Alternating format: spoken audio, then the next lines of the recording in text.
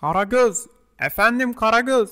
Ne- neredesin ya? İstanbul'un meydanında nereye kayboldu? Burası Anadolu'nun herhangi bir ovası değil ki. Askerler onu götürdüyse ne olacak? Canım iki gözüm neredesin? Buradayım. Neredesin? Sesin geliyor ama bulamıyorum. Buradayım hacı. Allah Allah yukarı baksana.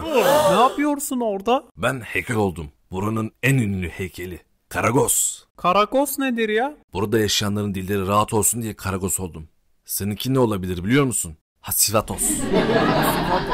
Hasifatos fena değil. Neden burada olduğumu biliyor musun? Sen hep yukarıdan düşüyordun ya. Belki Kara Murat gibi olmak istemişsin. Hayır, ben burada yaşayanlara acıdım. Onlar eskiden her yere heykel dikmişler. Dini mabette, parkta, okulda, evde, mezarda bile. Keyfine göre her yere heykel yapmışlar. Her yeri yapmışlar da çoğunun dost zannettiği gözleri dönmüş. Haçlılar da hepsini çalmışlar. Benim durduğum yerde atlar varmış. Onu da çalmışlar, götürmüşler. Bu yüzden onlara moral olsun diye burada heykel oldum. Seni görünce daha da moralleri bozulabilir. Kim oraya kara veba doktor heykeli dikti diye. Aşk olsun.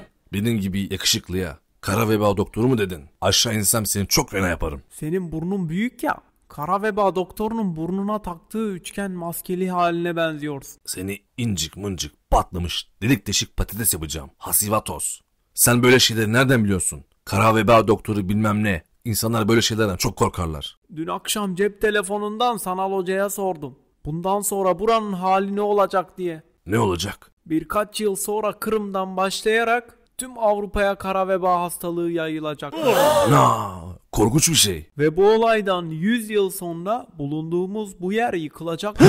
O zaman papaz Jorgen'in dediği gibi her şey yerine geliyor. Senin taşıdığın cep telefonu sana hocan bir peygamber mi? Hayır, öyle bir şey yok. O geçmişteki olup bitenleri aktarıyor. Bu olay bitmemiş ki. Henüz olmamış olanı konuşuyorsun. Ama bu akıllı cep telefonun üretim tarihi 2021 yılında olduğu için. Neyse boş ver. Yapacak ciddi bir işimiz var. Allah nasip ederse o da olur. Ama bunlar gelecekte olan insanların beyin kapasitesine bağlı. Gideriz neden olmasın? Rabbimiz insanlara akıl vermiş. Unuttun mu? Papaz Jorgen'in bize rica ettiğini. Kara veba gelmeden ve o korkunç yıkılış gelmeden önce bu insanlara son şans vermek. Bunlar seni dinlemezler. Dinlesin dinlemesin önemli değil. Biz doğru olanı söyleyeceğiz. Bunu gerçekten yapacak mısın? Anam ismimi Karagöz koydu. Görünen şeylere korkmadan gözü kapalı doğru olanı yap diye.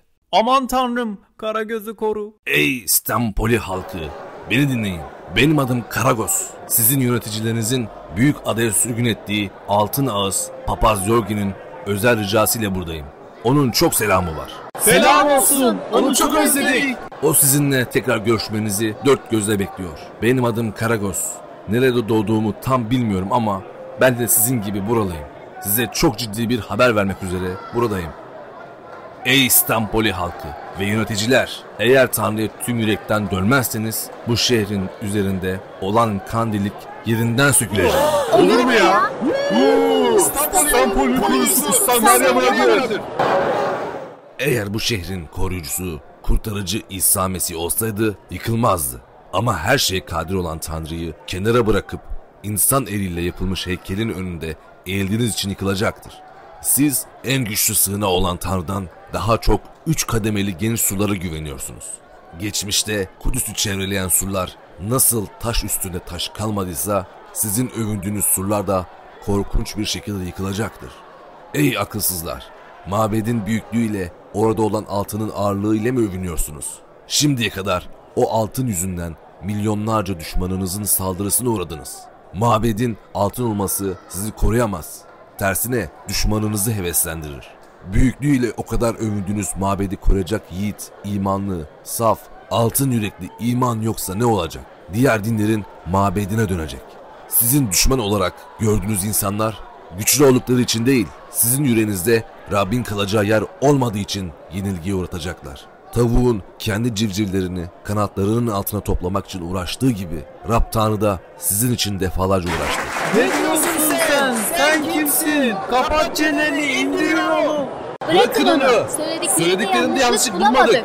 Dinimize, mabedimize bu kadar hakaret olmaz. Vay vay vay, olacaklar oldu. Karagöz hemen aşağı in. İnmek istemiyorum. Ben burada kalıplaşmış dine bağlı değil. Gerçek olan Rabbin halkının oluşmasını istiyorum. Ben burada Bu yedi kandili tutmuş halde canlı bir heykel olacağım. Sen Karagöz değil, kör gözsün. Görmüyor musun? Hemen aşağı in. Hemen onları tutuklayın.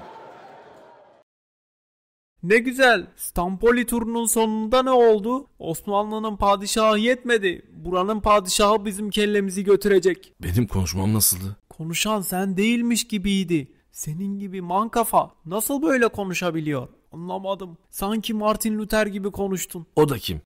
Papa'nın İncil'in öğretişine aykırı uyguladığı yanlışlıklara karşı baş kaldıran Alman papası. Vay be dünyada tek biz değilmişiz. Onun kelesi gitti mi? Yok başarmış. Çok iyi. Orada konuşurken ne oldu biliyor musun? Elime kandili alıp tuttuğum zaman başımın ucundan ayaklarımın tırnağına kadar sanki elektrik çakmış gibiydim. Konuşan ben değildim. Ruh benim ağzımdan konuştu. Ben de katılıyorum. Kesinlikle konuşan sen değildin. Ama Rabbin ruhunun beni kullandığına çok sevindim. Sevinmen iyi de bundan sonra ne olacak? Endişelenme. Ruh içimde bundan sonra dünyanın her yerinde benim tanığım olacaksın dedi. Ne dedi? Ruh seninle konuşmuş dünyanın her yerini dolaşacaksın demiş. Evet Dünyayı dolaşmak iyi de senin kahrını hep ben mi çekeceğim? işte ortağız. Dom Bece. Dünyayı dolaşırız da buradan nasıl çıkacağız? Bu ne be? Yorgun'un bizim için yazdığı mektup. Ne zaman verdi? Tur paketi verirken ayrıca tur sigortası olarak eğer başınız belaya girerse bu mektubu görevliye ilet diye verdi. O zaman neyi bekliyorsun? Hemen asker çağıralım asker. Ne oldu? Bu mektubu ilgili makama verir misin? Papaz Yorgi gönderdi.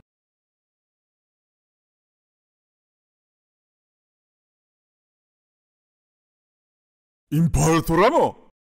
Umarım içerikleri iyidir. Hacı ben o kulede insanların bağırışımı durdurduğu zaman ne hissettiğimi biliyor musun? Dünyayı elinde tutmuş, insanları istediği şekilde sürükleyen şeytanın yüzünü gördüm.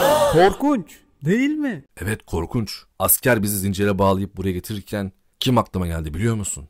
İsa. Dini ve siyaseti kullanan karanlığın gücüne karşı tek başına nasıl sonuna kadar mücadele etti. Ellerinde hiç mızrak yok, kılıç yok. Ama o sonuna kadar sevdi ve dünyayı yendi. O benim hayatımın önderidir. Bu bize çok önemli bir şey öğretti. Cesur olalım. Ah benim akıllı dostum Hacı Vatos. Ah canım cesur dostum Karagöz. Ne çabuk döndün. İmparator Yorgi'nin hatırı için sizi salıvermemi istedi. Ama bir daha bu toprağa ayak basmayacaklar dedi. Tamam tamam hemen gidiyoruz.